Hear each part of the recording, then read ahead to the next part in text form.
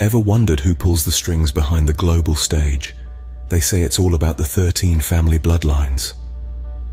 Welcome to the shadowy world of the 13 bloodlines, families that, according to some, have the world wrapped around their fingers. They're the puppeteers behind the curtain, the unseen force that molds our reality. Rumors swirl and theories abound about these families. Their names whispered in hushed tones, their influence felt in every corner of the globe. From the highest echelons of power to the smallest village, it's said that their reach knows no bounds. Imagine, if you will, a vast chessboard. On one side, the world's nations and leaders, each making their moves and countering the other's strategies. But on the other side, unseen and unchallenged, sit these 13 families, guiding the game's progress with an almost supernatural foresight. Their pieces, resources, governments, economies, they're the grandmasters, moving these elements with an ease that comes from centuries of practice. They control the gold, the oil, the diamonds, and the data. They shape policies, erect governments, and bring down economies. But let's be clear, this is a controversial topic, a complex and intricate web of claims and counterclaims. To some, it's a conspiracy theory, a fanciful tale spun by those looking for someone to blame. To others, it's a chilling reality, a silent war waged in boardrooms and secret societies. The 13 bloodlines are a riddle wrapped in a mystery inside an enigma. They're the stuff of legend, of whispers and rumors, of fear and fascination. They're the subject of countless books, documentaries, and late-night discussions. They're the fuel for our imaginations and the fodder for our fears. But who are these 13 families, and how much of these tales are true?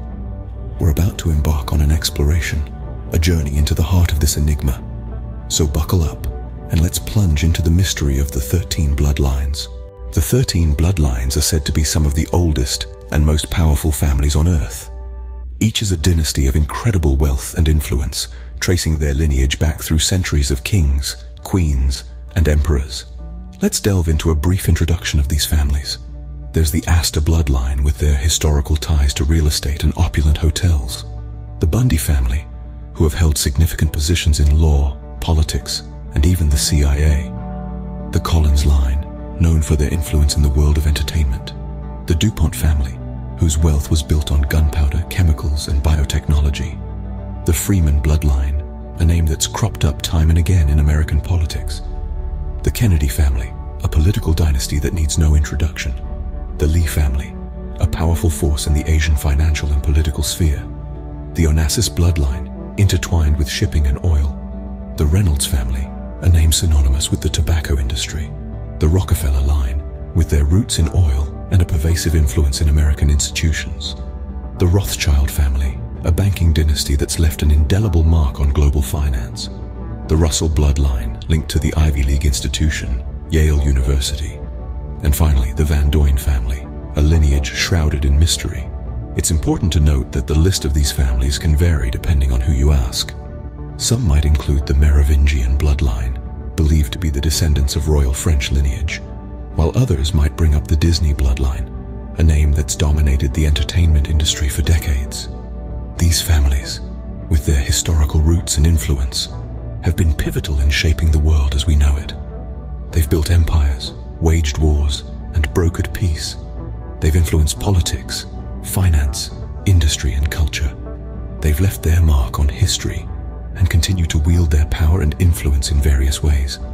But the question that remains, the one that we'll delve into as we continue our journey is, these families have left their marks on history, but to what extent do they control our world today? From politics to finance, these families are rumored to have their hands in everything. Now, let's delve into the different sectors these families are said to control. Picture the world as a grand chessboard, with each piece representing a different sector of society.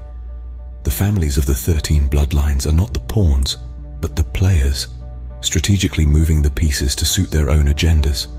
In the realm of politics, they're said to be the puppet masters, pulling the strings behind the scenes. From presidents and prime ministers to diplomats and ambassadors, it's whispered that no decision is made without their consent.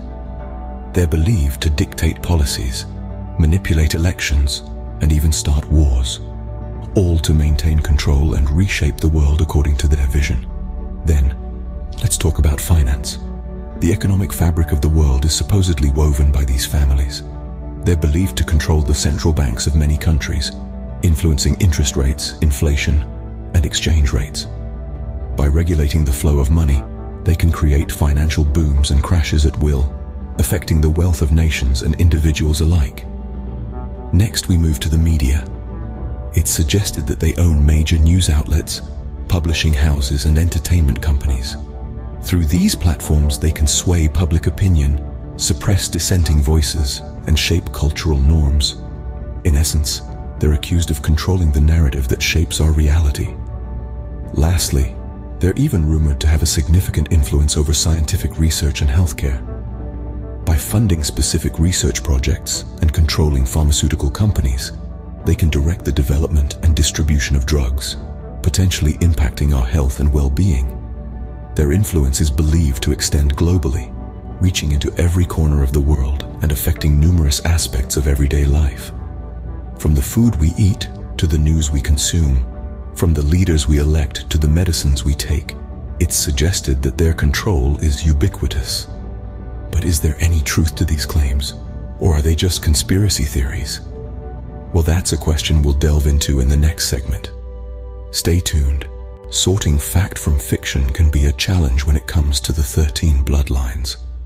As we delve deeper into this mystery, we must tread lightly and critically, as the territory we're about to explore is fraught with controversy and speculation.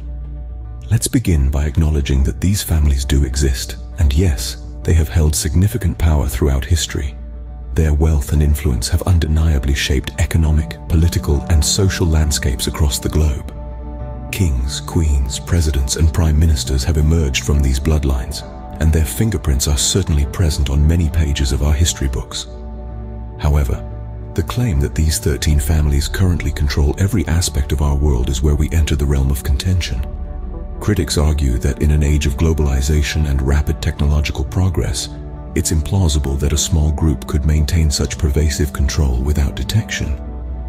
They point to the rise of new money and power centers, such as tech giants and emerging economies, that challenge the traditional power structures these families represent. On the other hand, believers in the theory maintain that these families have adapted to changing times, concealing their influence behind layers of corporations, trusts, and shadowy organizations. They argue that the family's control is more subtle and insidious, influencing world events through financial systems, media control, and political puppeteering. However, it's crucial to approach these theories with a healthy dose of skepticism. As intriguing as they may be, many claims lack concrete evidence and rely heavily on conjecture and correlation. It's also important to remember that power and influence are complex and multifaceted, often distributed among a multitude of players, not just concentrated in the hands of a few. So where does that leave us? Are we living under the control of these 13 family bloodlines? The truth as is often the case, likely lies somewhere in the middle, and as we continue to question and investigate, we must strive to separate the sensational from the substantiated, the myth from the reality. It's a fascinating, if not somewhat frightening concept to consider. We've delved into the mystery of the 13 family bloodlines, unraveled who they are, and explored the extent of their global influence. It's a narrative woven with threads of power, secrecy, and conspiracy a tale that stretches across centuries. We began our journey into the enigmatic world of the 13 bloodlines, families whose names echo down the corridors of time. From the Rothschilds to the Rockefellers, the Kennedys to the House of Windsor, these families have been whispered to be the puppeteers of global events. Their vast wealth, political connections, and business empires have formed a complex web of influence that spans the globe. As we ventured further, we discovered the scope of their global influence. From the economy to geopolitics, their fingerprints seem to be on every major turn of events. But here's the twist. It's a narrative as intricate as it is controversial. There are those who see it as a conspiracy, a fabrication of the paranoid mind. Others view it as an undeniable fact, a reality hidden in plain sight. The truth? Well, it's a puzzle that's yet to be fully solved. It's a topic that invites debate, encourages research, and challenges our understanding of the world. Perhaps the biggest takeaway from all this is the importance of questioning, of not taking things at face value, and of seeking out knowledge for oneself. So as we wrap up our exploration of the 13 bloodlines, remember this. Each of us has the power to question, to explore, and to form our own opinions. Don't shy away from the hard questions or the complex answers. Dive into the research, sift through the facts and the theories, and decide for yourself. Whether you believe in the power of the 13 bloodlines or not, there's no denying their historical influence. Please subscribe for more content from Asking Annie, and don't forget to leave any topic suggestions in the comments. Until next time, keep asking those hard questions.